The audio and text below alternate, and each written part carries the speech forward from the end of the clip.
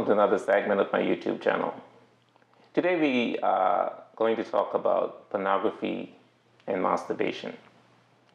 And I know this is a topic perhaps we don't talk about, but it's something that I believe that we should. I believe that um, not only men are experiencing this issue, but women are experiencing this as well. Not only single people are experiencing it, married people are as well. And we're going to talk to this gentleman who went through this phase in his life and he overcame it. So we're going to talk about, you know, what do you think caused him to be addicted to this and how he overcame it. And hopefully after you watch this interview, those of you who are going through the same issues or you know people going through the issues, that this video will encourage you and, and show you that, you know, you can overcome pornography and masturbation. I just want to take this opportunity to welcome Caldon Charles to my YouTube channel. I thank you very much. Thank you very much, Drexwell. Thanks for being here. Pleasure. Caldon, tell us about yourself. All right, so currently, let me start this way. Currently, um, I'm one of the pastors at Harvest Bible Chapel, Turks and Caicos, with the responsibility for outreach, uh, social media, um, preaching, discipleship. So that's currently. Um, out, outside of that, uh, I love basketball. So oh. give you a little breakdown, right? So I love basketball. The Lakers are my favorite team, and they're only my favorite team because of LeBron James, right? LeBron is your favorite. yeah, yeah. favorite favorite player. Mm-hmm. Uh, so I grew up in in a Christian home. So my dad is a, a, pastor. My mom passed away in 2017. So I have two brothers, uh, one sister. Okay. So that's that's my family in terms of the, the composition of it. I'm married mm-hmm. to, to Monique, and she's here in Turks and Caicos. We've been married for 22 years. Oh. So praise God for that. No kids as yet, mm-hmm. but I hope that will become a reality here in Turks and Caicos. And um, that was a, a, side joke. no, no, you're in the right place. You are in the right place. You're, you're in the right place to have those children. And we'll talk about that from now. I'll have you and your children on the Yeah, show. no problem. Your babies. but but yeah, um, and in, in, terms of like favorite food, so people could know, um, I like codfish and, okay. and, and salad or green banana. So that that's a little bit about that for me in terms of what I like. But I like connecting with people, yeah. um, like learning different cultures. Yeah. You know, because I, I, think it's important to be able to learn yeah. about individuals, and then you're you're able to make a deeper connection um, with them. So yeah, um, in terms of St. Vincent. Uh, grew up in a Christian home, mm-hmm. uh, went to church, but was not solely sold on church. Mm-hmm. So you just go to church because you know it was part of the culture. It's part of the culture, and your dad is a pastor, and it is the thing to, to do. Yeah. So you behave like a, yeah. a, a Christian, yeah. but didn't really experience any conversion or anything right.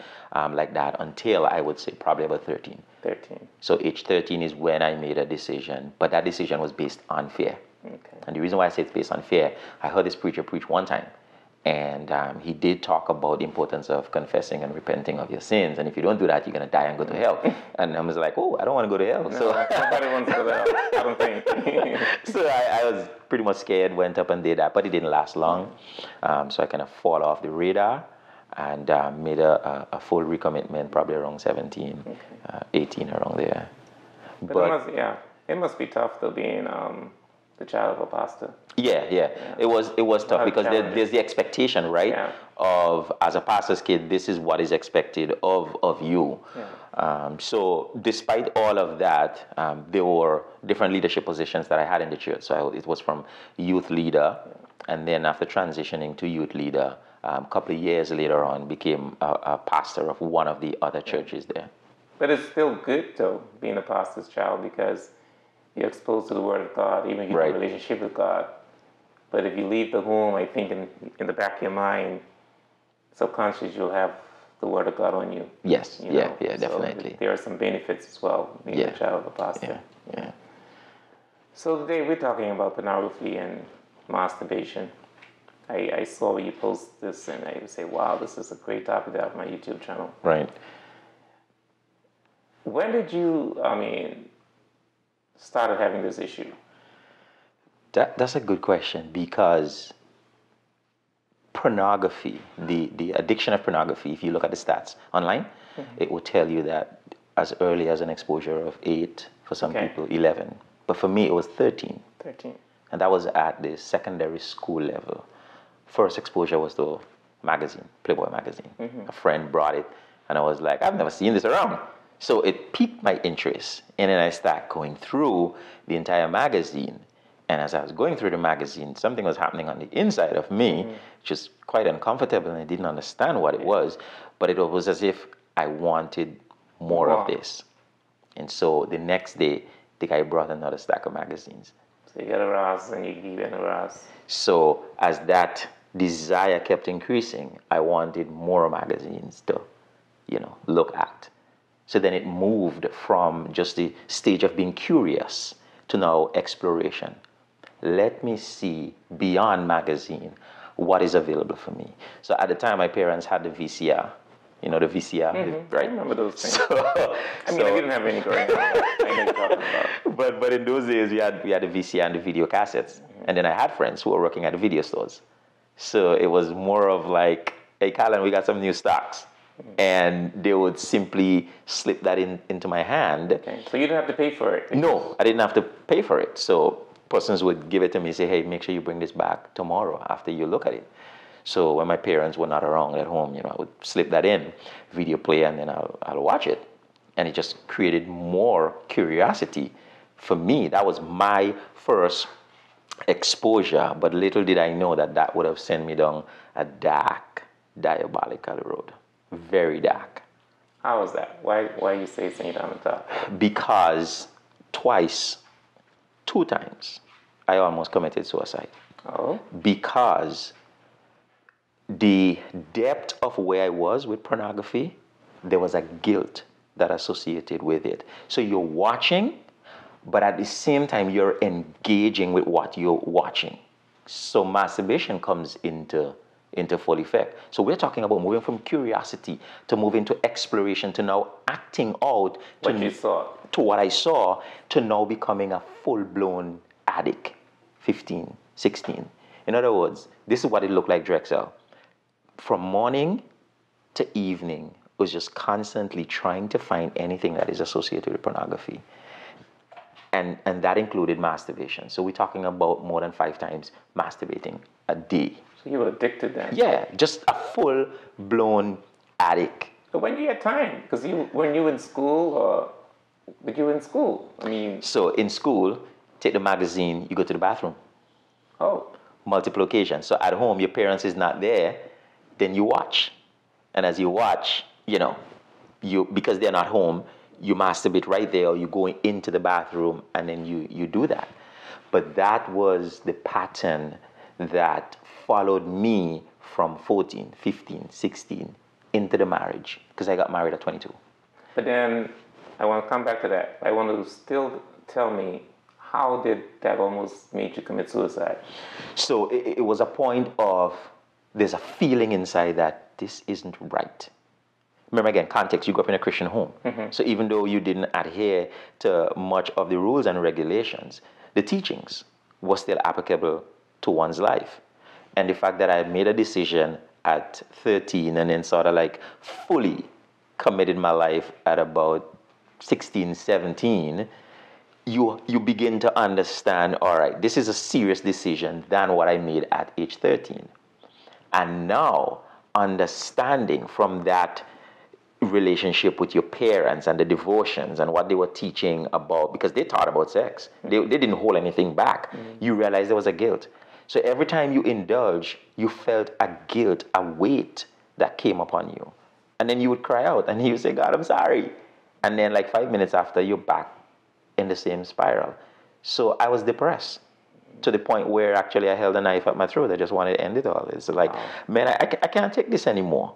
And I, I struggled with that throughout my teenage years. And, and then I kept it as a secret. Mm-hmm. So my parents did not even know that I was indulging and struggling with, with, um, with this act, you know, this desire for, for masturbation and, and pornography. Wow. So you got married at 21. 22. 22. And did And you continue to Yeah. masturbate and Yeah. you continue to have this issue. Yes. Because I didn't tell my wife anything.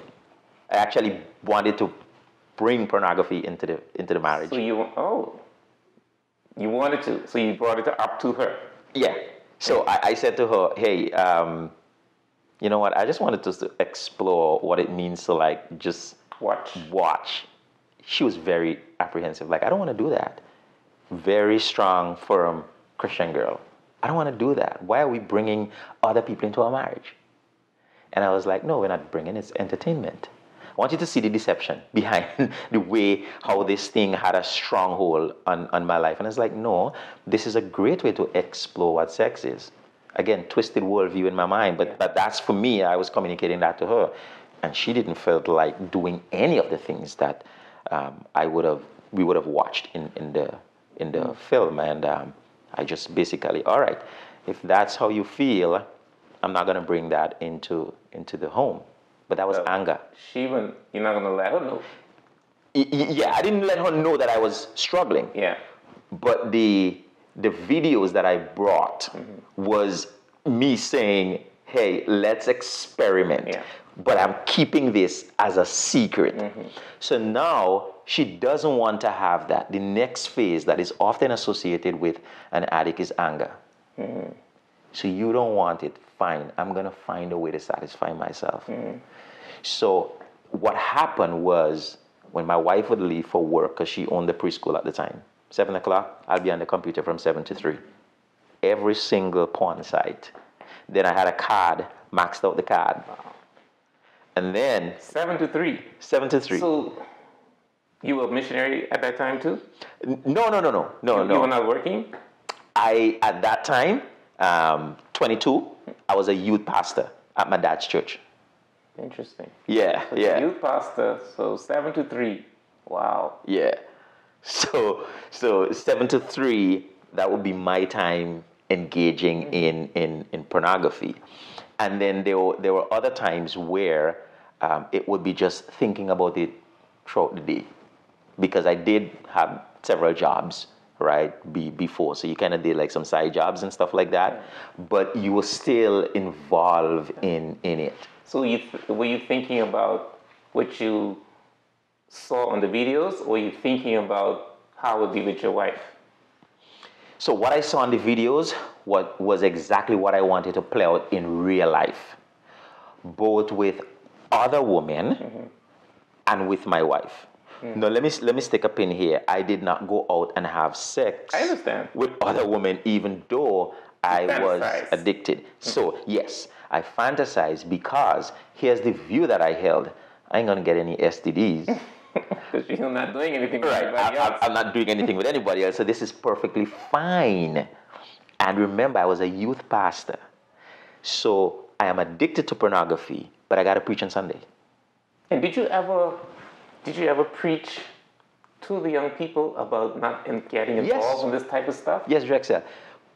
I, I categorize my life as a, a hypocrite when coming to the full reality of what God had delivered me from. I said, Boy, you are such a hypocrite. It was the goodness of God that really led you to repentance.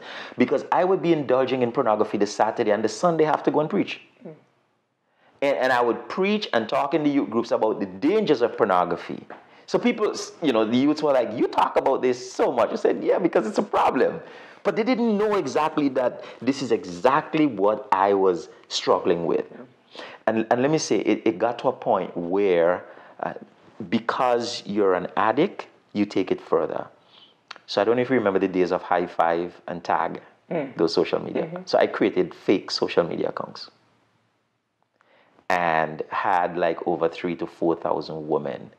And then I had all these fake profiles, all these nude pictures that I would pull from the internet. So they would be like, I want to know if it's a man or a woman that I'm talking to, so send me a picture. And I'll be like, no problem. Send them a picture, and then in exchange, you get all these pictures. So, like, my computer had folders upon folders of nude pictures. And you're talking about a youth pastor And your wife did had no clue. no clue whatsoever that I was deeply ingrained in, into this. So, at what point um, did you realize? I know you say you tried to commit suicide earlier, but at what point of it did you realize you need to deal with this issue? And how did you deal with it? How did you overcome it? Right. So I, I recognized that this thing was escalating. I couldn't control it. If I were to be honest with you, and I'm not saying I'm not saying that some demon was inside me. I'm not saying that. But what I'm saying, I felt oppressed to the point where something else was controlling, controlling. me. And I, Drexwell, I didn't have control over it. Something was controlling you, probably. So, yeah, yeah. So I didn't have control over it. So what happened was every time I watched pornography or masturbated, I would cry because there's a guilt associated with it. And I would go to God. And I remember one time kneeling down at the bedside and I was like, God, please, just deliver me from this. Just take this problem away from me. I even went as far as say, I don't want these desires. Again, you're young, you're naive, and you don't realize that God placed those desires there, but for a purpose. Like, God, just take these desires away from me. I don't want this anymore. You mean it, but you go right back three minutes after. And then I realized this is not working. So I reached out to a pastor friend of mine. I said, You got to help me. He said, Sure it only lasted for like two weeks, meaning he says if we're going to be in an accountability relationship, you got to take some responsibility. The stronghold, the seeds that was sown from 13, 14 was so deeply embedded into me. You can't get an overnight victory. Not saying that God can't give you, but I realized that that takes a while. It, it is a process. So he was he was willing to help me, but I wasn't willing to see the need. I like the idea. Mm-hmm. But then when it comes down to the hard work of praying and being honest, I pull back mm-hmm. on it. And then one day, out of desperation, I went online. And every single church that had Do You Need Prayer? I sent, I sent out, I'm a desperate young man who is a fake pastor. That, that's, that's the So at that time, your wife's still not aware? My wife wasn't aware of anything. Your father's not aware? No, they weren't even no. aware. so I just went out and I wrote down, like, I am a desperate kid. I'm a youth pastor. My life is messed up. I'm sick. I am just literally fooling people. I need help. I sent that out as a prayer request. I got one response from a lady in Taiwan. And she called because I sent my number. And she said, Is this Caldon Charles? Is this the youth pastor? I said, Yes. She said, I saw your request and I'm willing to help you, but a couple things that you need to do. I said, All right, let's go. She said, First and foremost, you need to tell your wife I said, No, that would be the end of my marriage. I'm not telling my wife. She's been faithful, she's been loving. My wife don't even need to know about this. She said, You have to tell your wife. And you grew up in a in a in a pastor's home, right? Uh, because that's that's we had some conversations. So she's like, You grew up in a pastor's home, you should know better. And by the way, you are committing adultery of the heart. And and that for me was like, no, I didn't go outside. And she was like, Yeah, you read it clearly in Matthew chapter 5. That's what you're doing. You are committing adultery of the heart. You're being unfaithful to your wife by indulging in all of these sexual fantasies. Even, even okay, I'm going to come back to that. Yeah. Are you committing adultery even though, say you're masturbating and fantasizing just about your wife? Is that still considered adultery? It, it's, just about your wife. Right, right. Your, your, it's in the picture. It's so, still... so let's let's deal with that question because that that question. I'm not saying this is this is a, a view that you hold, but it, it, the question leans more towards a liberal view of I am thinking about my wife. So if I'm thinking about my wife, I am entitled to masturbate. But then when you look at what scripture says. It may not say anything specific about masturbation, but it speaks about certain principles. Mm-hmm. So 1 Corinthians 6 uh, talks about our body in the context of a Christian. If we're looking at it, our body is a temple of, of, of God, right? So he has redeemed you. And then Paul even talks about, so why take your members and unite them with a prostitute, right? And then you also look at the whole idea of 1 Corinthians 10.31, whatever you eat, drink, do it for the glory of God. You got to ask yourself the question, is masturbation, which is solo sex, having sex with yourself, literally. That's what it is. Because your wife is not there to have the intent of sex where God designed for a man and a woman to be together, to enjoy that. Yeah. But if you're thinking about that up here, I almost say to people, don't fool yourself mm. Because you're giving the devil an opportunity that when you're not thinking about your wife, you'll probably be thinking about somebody else. Because the Bible itself says, you know what? Don't, don't give room for the devil. He's like a roaring lion seeking whom he may devour.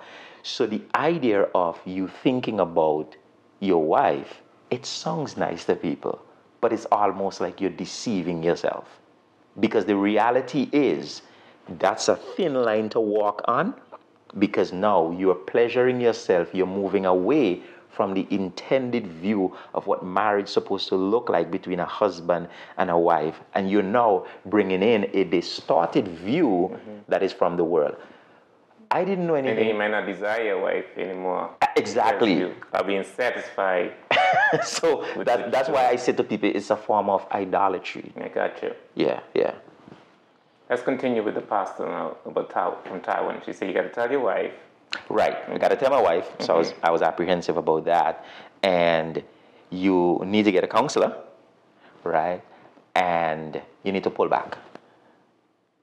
Third one is the hardest one. Like pull back from what? From ministry. You need to be healed. You've been living a life of deceit. So you can just imagine how hard that is because as a pastor's kid, you got to break that news, right?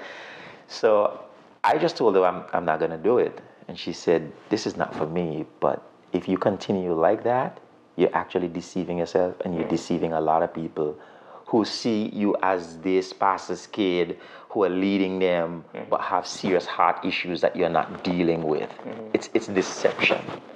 So uh, we we talked on the phone a lot because she was committed to helping me. That is awesome that she called you. Yeah, and the thing is, for her, she was a cocaine addict, so she understands the nature of addictions. And so she was saying to me, she was saying, "You need to tell your wife." I had to muster up the courage. She, said, "If you don't, I'm going to call her. We're going to Skype." I said, "No, no, no, no, no, no, no, no, no. Don't, don't do that. I'm, that, that's my marriage. I will take care of that." so I had to muster up the courage, and I remember uh, talking to my wife about it. I said, Look, I, I've been keeping something a secret for a very long time, and I want to let you know that as it stands right now, uh, I don't think I deserve you. I think you deserve somebody else. And I have been struggling with masturbation and pornography. And it's been a very long time, since 13, 14. And I want you to know that you deserve somebody better, and I just want out of the marriage because I'm not the perfect person. How long were you in your marriage at this time you told your wife? So that would be going in, we would say about maybe close to coming up on, on 10 years. 10 years? 10, 11 okay. years, okay. yeah.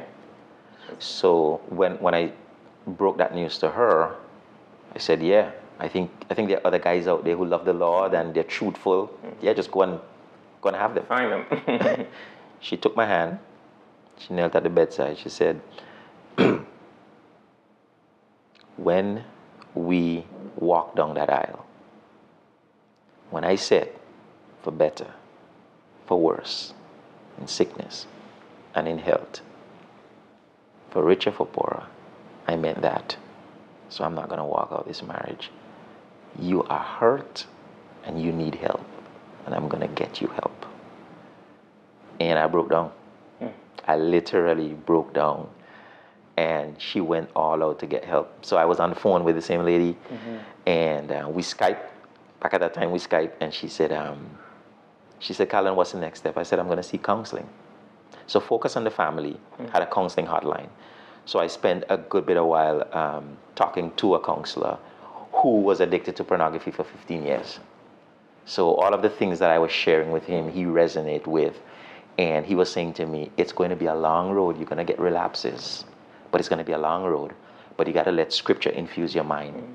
because it, it's all about rewiring your brain because, you know, all these images that you have in your mind stored up as a library, you, you have to commit to prayer you have to commit to scripture and, and memory, scripture memory, you know. So yeah, you should get reminded sometimes. Yeah. Yeah, yeah.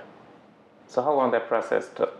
After you it constant, there must have been a great feeling, by the way, now that your wife knew. Yes. And then you went to counseling. So how long did the counseling process took?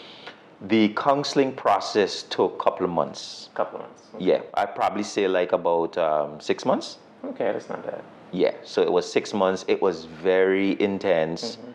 And there were occasions where I had a relapse and didn't say anything. But Mm. You went back to yeah, yeah. I went back, but they were they were onto it. yeah. In in the questioning sessions, Mm-hmm. they were onto it, and then you know I realized that I, I had to talk about it. Yeah. Okay. And then you stepped down. So I pulled back. Um, did talk about it in the church openly, and then guess what happened? Had a group of guys, six of them. They got up, came to the front of the church, and said, "I just want to thank Caldon for being honest." But I want to let you know that I was struggling with pornography. All six of them, including my brother, who I didn't know was struggling with Were they married too? No. Okay. So um, for them, it was identifying that your youth pastor was struggling with the same thing that Yeah. you're struggling. Yeah. And now he's in the process of healing, he's in the process of recovery. Yeah. And this would be good for us because we can learn what he is learning now in his recovery. Yeah. Yeah. And that's why we're doing the show because there may be people out there. Yeah. I know that there are people out there, Yeah, but yeah. maybe there are people out there who who are going through the same issue Mm-hmm.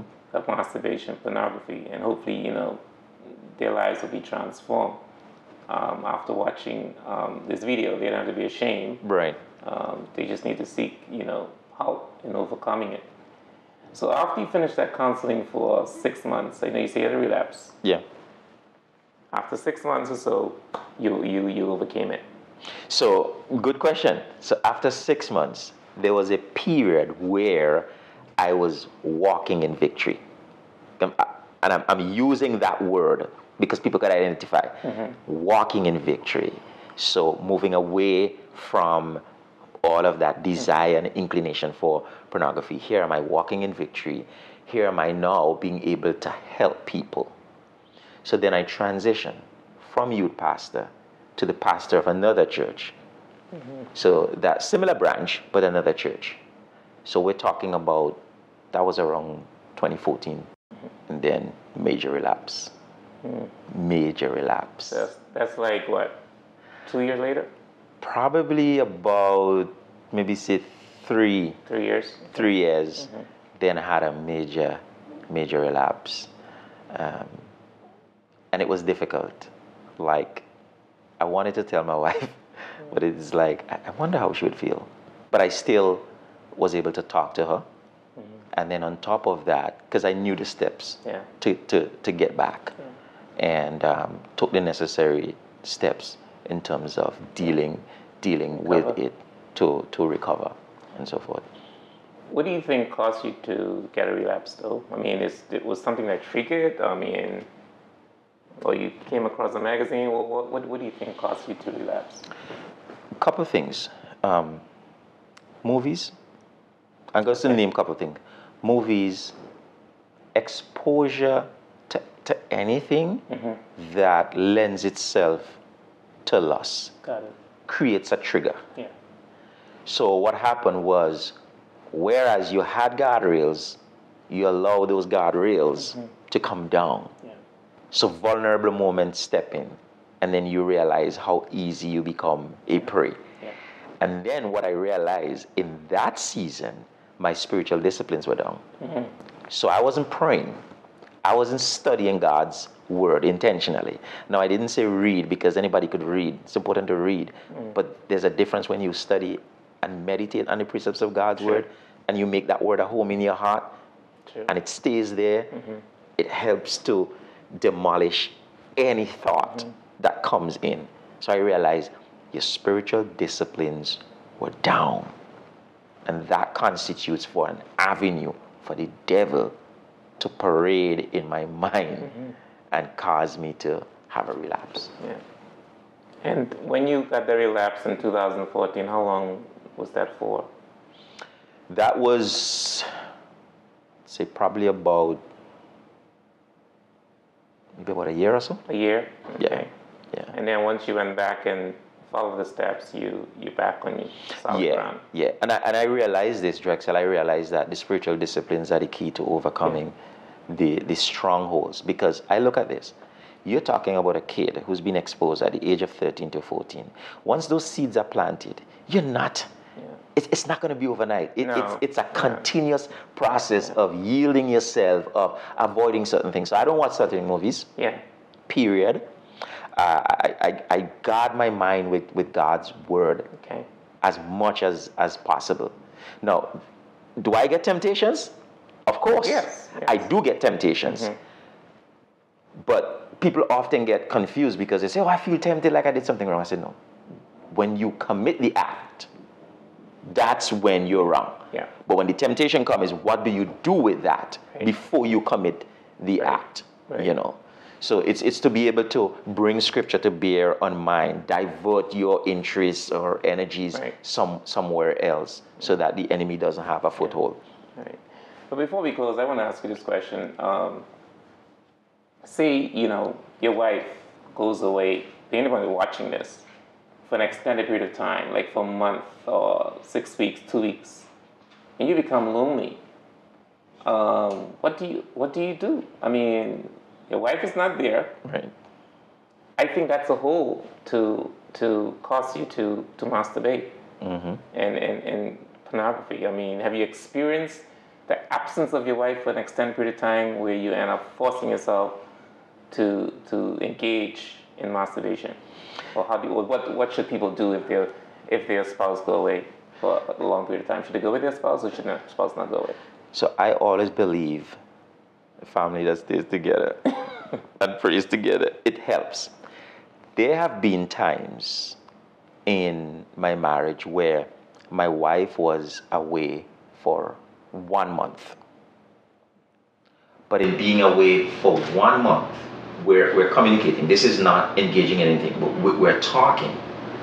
But what was helpful is that I do have accountability partners in place to check up on me to find out how am I doing because you are forever in a war and you need good solid men to uphold you so for me it's having that community people who you trust people who hold you accountable. Even though my wife is not aware and she is aware. So for us what we've done is and we've had we, we have not had this for a while. At that time when she went away for one month it would have been here's the decision. My wife is only leaving for a month. Collectively we agreed for a month. And that was that was again back in back in st vincent. She would go to one of the other islands and, and help out with some babysitting but from that time we have always made a decision to be together Yeah. Got it. yeah yeah That's a good point. Do you have any closing remarks or you think I read or any issue I've not covered that you would like to highlight? So, uh, a couple closing remarks because people often want to know how do you get over pornography? Well, what does what does the steps look like? And I would say first and foremost is to acknowledge that you have a problem.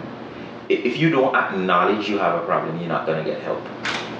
So one, it's acknowledging that there is a problem. And why do I say that? Because when you bring the sin of pornography, masturbation, the root of that is lusting. When you bring that to the light, you weaken its power.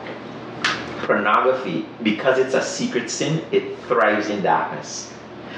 If somebody has a cold, you and I would know. You would see the symptoms. Mm-hmm. They would cough. Mm-hmm. I can't tell if somebody's struggling with pornography mm-hmm. from the outset unless they open up and say, I am struggling with this. So I've realized that the more you talk about it, you weaken its power. One of the backdrops was I didn't talk about it. One of the things that has helped me is to be very open and to speak about it because a lot of people struggle with it and to say, if God can give me the victory over it, that He can give other persons. So the, the, the thing is, bring it into, into the light, have accountability partners in place, prayer and meditation of scripture is a key thing in helping to keep your mind pure, guarding your heart against against um, any attack that the enemy would, would seek to, to bring. So yeah, that that that I would say. And and First Corinthians ten thirty one is like a go to verse for me. Like whatever you do, do it for the honor and, and glory of God, so that He is magnified and glorified. Yeah. Well, thank you very much, and I really enjoyed this conversation, and I hope those of you watching, you are inspired and realize that you know everybody struggles uh, with something.